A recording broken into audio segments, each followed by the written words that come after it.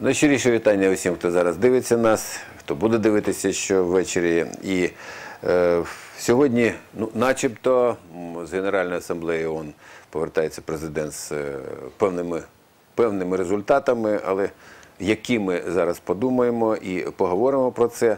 Е, Уже інформація зранку є в усіх засобах масової інформації. Зубожили ми ще.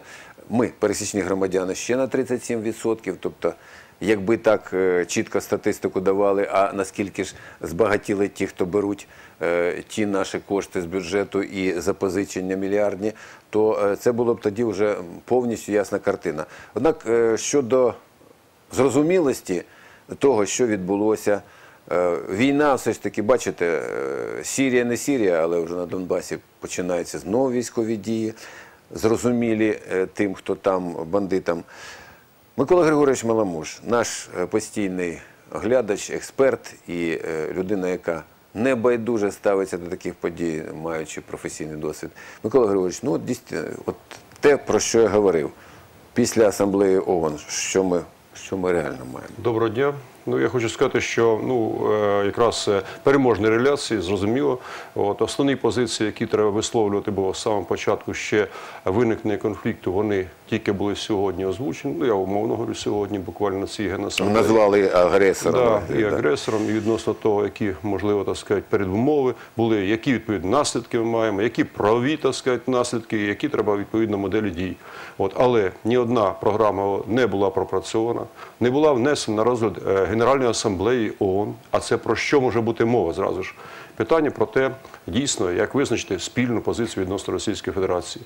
Питання, як визначити модель врегулювання ситуації, виходячи з глобальних загроз і глобальних і ядерних протистоянь, і проблеми і, і Ісламської держави, і проблеми Сирії, а зрозуміло, і проблеми України, тому що це надважливе питання. Воно, мабуть, переважає над всіма.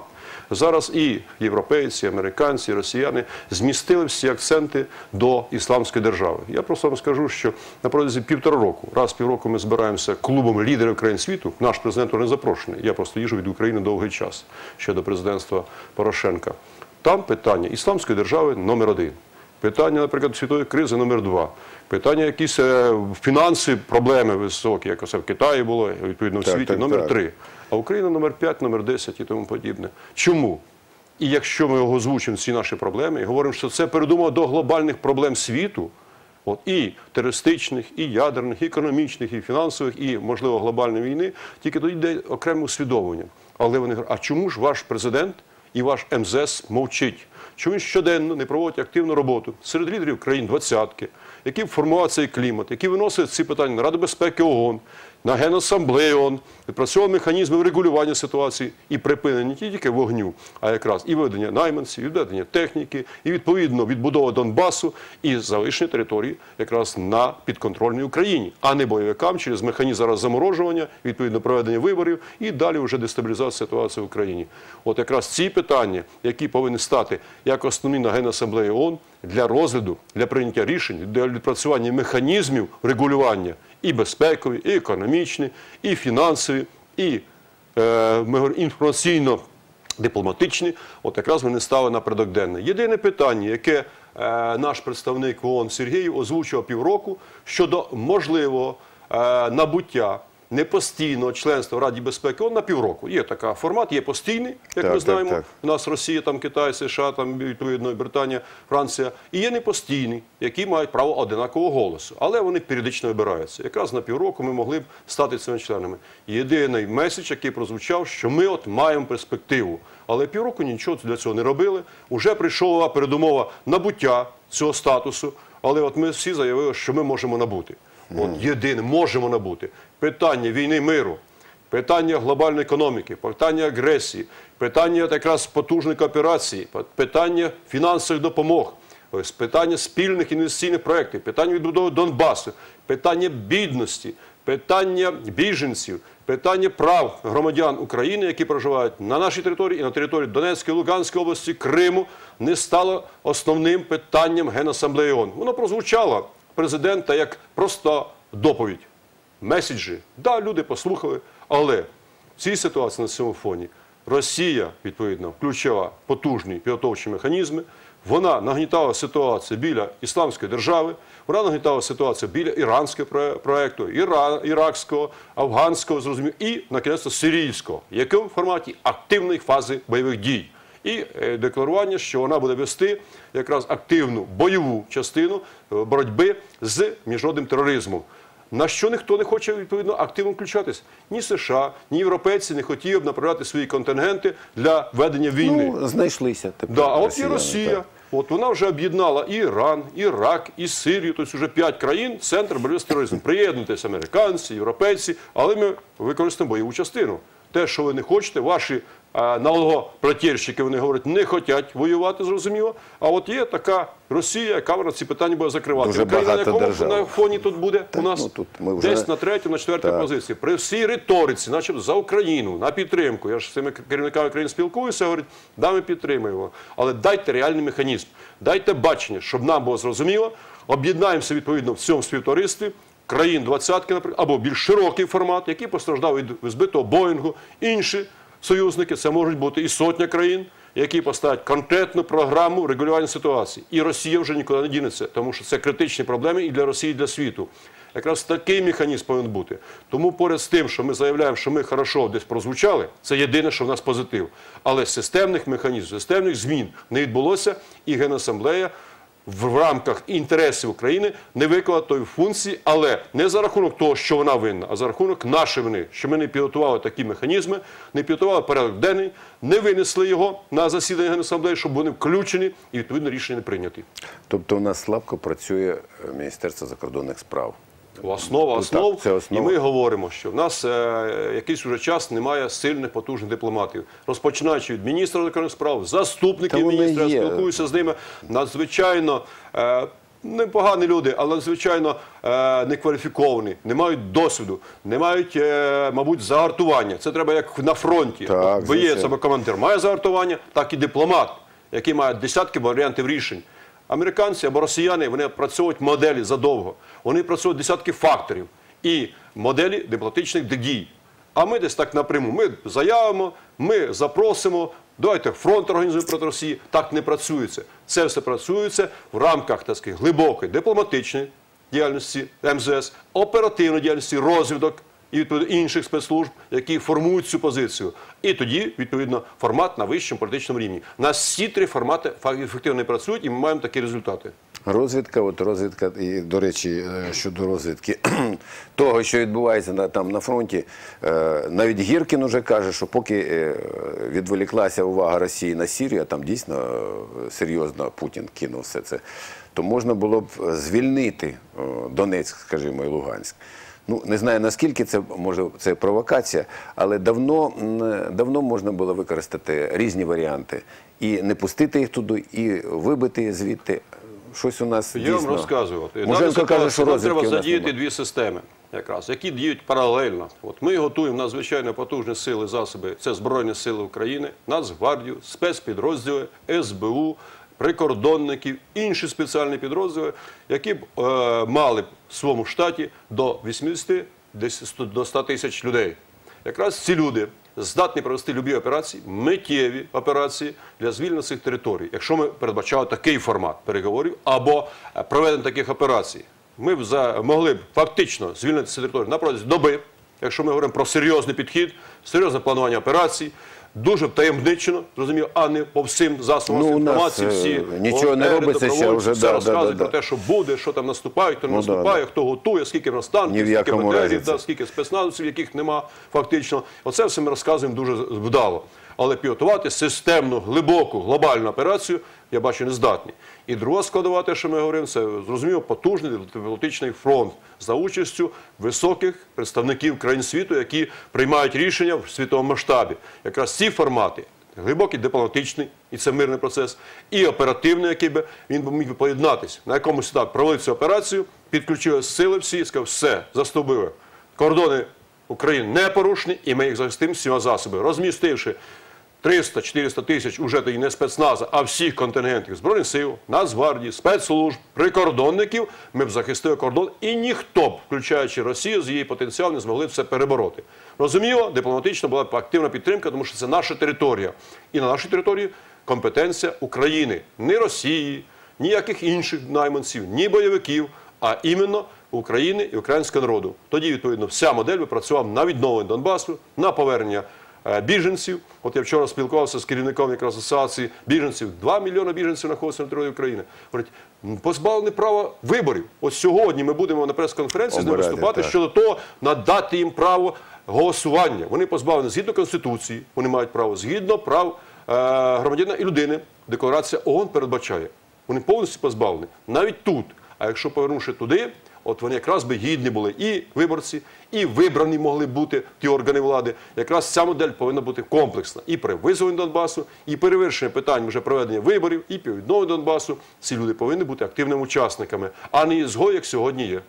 І от сьогодні починається призов, е, черговий призов на військову службу. Ну, Трошки збільшено строк служби і е, вік, з якого е, будуть йти на службу. Дуже довго говорять про контрактну армію, але ну, я розумію так, що нам ще не по кишені. Хоча на Міністерство оборони виділяється величезні. Ну я не підтримую цю концепцію, що зараз е, неможливо за рахунок тільки фінансової складової е, вирішити питання контрактної армії. Нас зараз ми вже говоримо з, з додатковим запитом 105 мільярдів гривень. Тобто це якраз той формат, який дозволяє нам формувати контрактну армію за 120 тисяч людей. Друга складова цей же бюджет передбачає якраз новітнє озброєння, новітнє спорядження, новітні засоби контролю, зв'язку, комунікацій, відповідно кооперації в плані ведення проведення операцій потужних, тобто власне виробництво, які дешевші на порядки, чим американські, німецькі, британські, які ми хочемо придбати, нам просто-напросто не дають. Досить генерувати Ну, ситуацію так, так. на наші сили. Наш ВПК завжди давав на міжнародні ринки високоточну зброю, високоточне обладнання, надпотужну радіотехніку, яка перемагала і британську, і французьку, і російську якраз формати. Це я просто як практик говорю, кажу в конкретних тендерних процедурах, коли ми ставали на рівень е, конкурентів. І Україна перемагала. Вигравала по 2 мільярдні контракти. І це приносить бюджету. А це повинно було приносити не тільки спецслужби розвідці, а й Збройні сили, тому що такі засоби радіорозвідки, радіоперехоплення, радіоподавлення, системи керування, які Дуже, дуже, знецінюють любі теми, е, наприклад, нашого ворога. Оце сьогодні повинно бути півтора року і 110 мільярдів, вже, вже більше ми маємо. Достатньо сформувати боєздатні частини, сформувати якраз ту нову модель нових видів збройних сил, сили швидкого реагування, дуже потужні бронетанкові, ракетні війська, радіотехнічні війська, космічні вже ми можемо. В нас вже спутник є. Так, наші так. вже не запущений супутник. І в нас є ракетоносії. Ну чого ж не скооперуватися? Я вам прямо скажу з ким. Арабські Емірати, от, Саудовська Аравія, Туреччина, з будь-якою країною.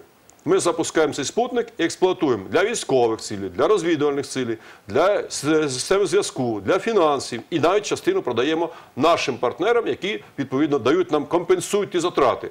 Але цей чинник до цього часу не задіяний. Роками вже ми говоримо, півтора року йде війна, якраз надкритичні сили, засоби, які в нас є, не задіються для оборони і безпеки. Південмаш зараз люди ходять з простягнутою рукою. Зарплати Уже немає. скорочений робочий день, Так. працюють по 4 години. От буває прямо на тиждень 4 години. За рахунок того, що в нас немає якраз контрактів зараз з Росією, так є контракти з Україною, Звичайно. з власним самим кращим можна споживачом і замовником Да. по стандартам. І ще скажу, є запити з 16 країн світу до Південмашу щодо ракетоносіїв, щодо спутників, мікроспутників і ті, які мають надзвичайні ресурси. Теж е, Арабські Емірати, розмовляючи з президентом і з цими братами-шейхами, які володіють фінансовим потоком, 27 мільярдів готові виділити на космос, авіацію, радіоелектроніку, аграрний сектор, на енергетику, альтернативну енергетику, тому що в них падає ціна на газ і, і відповідно на Так, так, нафту. так, уже ж і це все той формат кооперації, який не потребує кредитів. І це те, що ми говоримо зараз, що ми збідніли на третину, це вкрали у нас безпосередньо третину коштів. Чому? За висновками, от в мене був е, керів- один із керівників Інституту стратегічних досліджень США перед е, Генасамблеєю, і він говорить, за нашими глибокими даними, а він має які дані? Ну, Розвідувальні дані, е, з від відповідно них потужних фінансових розвиток, економічних корпорацій, політичних так сказати, структур, дипломатичних структур США і інших країн, тому що вони консолідують цю інформацію, яка збирається. Говорить, 60% економіки знаходиться в тіні у кого? В олігархів, в владних структур. Він просто не, не вибирав слів. Влада, яка прийшла, і центральна, і президентська гілка, і урядова, і е, парламентська, і інші учасники, вони активно експлуатують тіньові сектора. Вони знаходяться в корупції, і за в них перспектив не буде. Висновок того інституції, яка дає рекомендацію президенту Обамі, Держдепу, Сенату, Конгресу. Зрозуміло, що як буде формація Паєць виступив вже прямими Так, це ж якраз той формат. Після приїзду цього е, керівника інституту зразу виступив е, посол Паєт і сказав, що надзвичайна корупція, надзвичайна з'їсть всіх. Перед цим, що хто виступив? Е, Віце-президент Байден. Байден. Оце те, що ми говоримо, це реальні оцінки. От, вони не, не е, слугуються на якихось слухах, до припущеннях там, і навіть аналізах поверхових, глибоких знання, реальна ситуація із реальними свідченнями, реальними даними, як Мінстату, Мінекономіки, відповідно фінансових розвиток, спецслужб, так і конкретних свідчень, конкретних людей, чиновників і тому подібне. Фінансових, так сказати, посередників, які знають ці потоки, бачать ці потоки, і вони знають про що говорять. А це що? Це державні злочини. Тому що якщо в нас захоплюють, наприклад, когось там на Верховній Раді Мусійчука за те, що він вимагає 100 тисяч, це зрозуміло злочин. А якщо ми говоримо про ці мільярдні злочини, які фіксують і американці, і європейці, і росіяни про це говорять, і олігархи, які дають інтерв'ю, буквально розказують про ці Один на одну так, да. Да, конкретно, тому що між ними конкуренція йде. Маєте на а увазі чого ж не Григоришина, порушує справи? Чому А, ну, генпрокурор нас ходить до президента на звіт і тому подібне? Генпрокурор незалежна інституція. Керується тільки чим? Конституцією, законом. Іншого в нього немає. Ніякі вказівки, ні від президента, ні від прем'єра, ні від Верховної Ради він не може отримати. Він може тільки отримати матеріали для розгляду і об'єктивно оцінити ситуацію. Але якщо будь-який скоїв злочин, чи президентська гілка, чи прем'єрська, чи незалежна, чи опоненти, наприклад, опозиція, повинно бути глибоке розслідування, незалежно ні від посад, ні від політичних бодобань, ні від тих орієнтирів, від чого залежить генпрокурор. Точно так же антикорупційне бюро. От якраз ця модель. Воно працює в нас, а воно взагалі його немає. Чим прославився голова антикорупційного так сказати, нашого бюро? Тим, що поїхав за якісь невідомі кошти в Лондон і поїхав відповідно родичі. Доказуєш там не те, не, не все. Я говорю, при любій ситуації. Я проїхав 86 країн світу, керівники спецслужб, суддівські керівники, а особливо бюро антикорупційне, де є країна, він не має права випити чаю за рахунок свого друга. Чаю. Я говорю, а він поїхав на чартерних літаках, поїхав по білетам і тому подібне, і все інше, не дивлячись про ту прошлу історію, яка була попередньо. От тут така ситуація. Не буде в нас ні об'єктивного е, і розслідування, не буде ефективних підрозділів, які борються з корупцією, тому що вони самі або люди задіяні, або ця система задіяна корупцію з самого початку. Вони являються корупціонери. Колись такий був приклад. Ми ще про Ющенко говорили з генпрокурором, от, і відносно замгенпрокурора, що хто кришує. Дев'ять замгенпрокурорів. Виявилося, всі кришують, і генпрокурор це признав в великих розмірах, сотні мільйонів доларів. І думав, що ці всі будуть посаджені тут же, той же секунду і тому подібне. Всі залишились аж до Януковича. Тільки той змістив, тому що йому незручно було їх тримати, ще не його люди були при пшонці. Оце велика ідея, що системний спрут. Якщо це його не зламаємо зараз, цей спрут, зрозуміло, ця система буде. От зараз на виборах що вже? Сік, мені клани говорять, на мера треба 5-10 мільйонів доларів Так. на посаду мера, щоб Це це пройти. ставка мінімальна, Для так. чого? Купити виборців. Для чого? Купити комісії. Для чого? Купити засоби масової А потім вже треба звідки взяти їх, щоб... Так, це, а ми ж е, чітко орієнтуємо, що це злочин. І всі кандидати, я з ними спілкуюся з кожним, керівниками штабів і тому подібне, саме кандидати говорять, от така система діє, інше не буде діяти, тому що я не виграю. Так свідомо йдемо на злочин, йдемо на обман виборців, підкупуємо їх, підкупуємо комісії, а члени комісії, деякі голови мені кажуть, там вже все визначено. От якраз той формат, який раніше працював при виборах президента, прем'єра, от і на місцеві визначить, чому хто скільки заплатить, той отримає скільки відсоток і скільки ми підрахуємо. Оце абсурд сьогоднішнього дня. Якщо ми не повалимо цю систему, а це величезний спрут, як ото сильніший, ніж в Італії був. Я з італійцями Так, дуже довго працював по тій мафії, яка там Так, працювала. так. Нас все перемішалося. Все спаялося. Там ще появилися Там катані, випадки там ще були, появилися да. якісь ще інші теми. В нас вже не появляються. Вони щезли. Тобто вони всі там уже пов'язані або задушені до кінця. Тому ці громадські рухи активні, які піднімаються, це нова складова, яка дасть перспективу розвитку громадських рухів всенародних і зміщення цього великого спруту, який прийде відповідно на вже на рівень відповідальності і в політичному плані перше, і в юридичному. Кожна особа, яка відповідно скоює це злочин, скоює сьогодні. І зрозуміло, буде оновлена держава, але за рахунок сильних, потужних представ нових людей. Оце вихід з ситуації, щоб люди не думали, що це нікуди нас немає, тому що зустрічають багатьох ну нічого ж не зробиш. Все тільки не прийдеш, Ото. кругом корупція, кругом порушують. Вчора мені е, дзвонять з одної структури. От е, і говорить е, з партії, говорить, ну от ми виставили надзвичайно потужних кандидатів, відомих генералів, от е, лікарів, от Професіоналів. за, закликають з адміністрації і говорять, що не сміть іти тільки або під нашим контролем, або тому подібне. Я дзвоню цьому керівникові. Я нічого не знаю. Зразу бігав вже, вже, вже в кущі і тому подібне. Я говорю, хлопці, відповість? яке ви? елементарне буде порушення. По-перше, на суд Божий, на суд людський, на юридичний суд, на правовий суд. І нехай попробує Генпрокуратура не порушити справу, якщо будуть конкретні факти поданим по цим фактам. А це буде робити по всій Україні. Тобто адмінресурс буде використовуватись, підкуп використовується, уже це ясно. Ну, що казати, е, театр абсурду, дійсно, ви вірно е, кажете.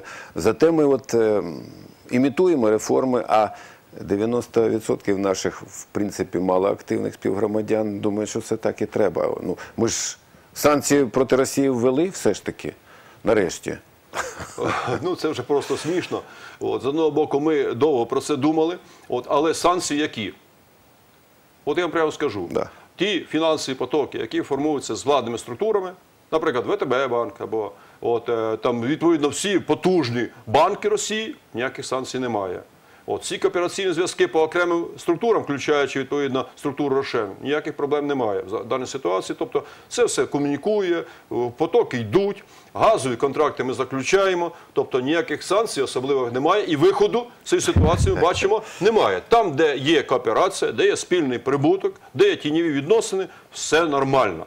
Механізм працює. І ніхто не включений, ні ці великі корпорації, ні банки, ні інші об'єднані структури, які мають спільний економічний інтерес. А ті, які десь може піар підняти, от якраз да, це можна роздути там і все інше. Оце ми ввели такі санкції. От зараз маємо проблеми. Треба ж було думати про те. А які в нас інші є формати комунікаційні зв'язки? От ми говоримо сьогодні, там Росія закрила нам відповідно повітряний простір. Ну ми зробили перший цей хід. Ми припинили їм рух, відповідно, вони припинили. Так якщо ви вже зараз е, когось звинувачите, давайте будемо думати. Або ми системно вже йдемо на санкції і вибираємо цю модель дій. Або якщо ми вже щось там починаємо припиняти, то подивимося, а хто більше шкоди буде? Наприклад, якщо ми нападаємо на якогось озброєного злочинця, в нас немає засобів, то він нас тут знищить, то тоді Звичайно, відповідно треба подумати, щоб нам підібрати ресурс, підібрати людей, мабуть, а тоді вже вирішити питання. А так спонтанно, раз прийняв рішення і самі терпимо проблеми величезні. От ми великі санкції ввели. Якщо вони повинні бути, вони були дієві для Росії, що вони обмежували їх потужно і болючі. І зрозуміло, ми вже відпрацювали альтернативу для нас, а не самі вправилися в цей величезний капкан. Ну, це, мабуть, що, Микола Григорович, ви ж прекрасно розумієте, ніхто на себе не бере відповідальності, це хвороба. 24 роки хворіємо цим. Е, Це ж від того у нас і котли, і гинуть тисячі людей. Від того така спонтанна якась е, уривчаста політика і зовні. Ніхто, ніхто ж ні за що не відповів. Ми досі не маємо, дійсно, ви вірно кажете, що там, що там Мусейчук? Це дрібниця, там е, у у депутатів більше ходять хабарі. Але показово є, зате ж ніхто з тих, кого, на кого вказують пальцем уже самі олігархи, ніхто не постраждав, як так, не відповів. Тут же не треба крові, треба просто судовий процес це аналіз. Аналіз цих от, е, злочинів. Живуть ці олігархи, владні структури і перші ці особи, які зараз при владі, живуть подвійним життям. В них все по поняттям, в них свої, так сказати, уже стандарти і відносини, в них ці всі потоки, тільки перерозподіл де. От, е, і людям, відповідно, дають те, що дійсно вони там, наприклад, створюють якийсь імідж собі. От, але тут же ми маємо, наприклад, порушують справу в Австрії відносно кого? Глави адміністрації. От він говорить, та я відношення не маю. Але, мабуть, австріяки, мабуть, же знають, в чому порушують справу. Давайте розберемося. При будь-якій ситуації, якщо навіть в країні є загроза, якась підозра щодо є корупції, а не а навіть порушена справа, зрозуміло, на цей період йде е, посадовець у відставку. Тимчасово або зовсім, як правило, йде відставку, тому що є підозра, мені недовіра. В цій ситуації та нічого я не мав. Точно так же в Австрії відносно депутатів Верховної Ради, відомих, наближених до президента і до прем'єр-міністра, відповідно. Відносно того, що корпорація, яка займалася з Курченко, відповідно з главою адміністрації і мав відношення діючий голова держави, також питання є великі. Тобто багато питань, які виникають з суспільства. Не просто наприклад, мене з вами і тому подібне, а активістів, громадськості, юристів, правників, от, е, тих людей, які займалися довго слідчою діяльністю, оперативною діяльністю, які знають глибоко ці відносини. От це формує надзвичайно потужний негатив в суспільстві. І питання стоїть тоді в тому, а відповідальність цих осіб. Якщо ви стали на чесний шлях, європейський, давайте відповідати згідно і законодавства України, відповідно традиції Європейського Союзу, як ми вже туди рухаємося, а це традиції, які передбачають чесність, правдивість, моральність, законність, от, відповідно, і відповідно відповідальність за свої дії згідно Конституції, згідно обіцянок народу. І цей формат повинен бути до честі президента, прем'єра, парламентарів і інших наших урядовців, правоохоронців. От якраз цього великого виміру людей немає. І якщо його не буде, відповідно, і країни не буде. Ми бачимо, як до чого зараз йде ситуація.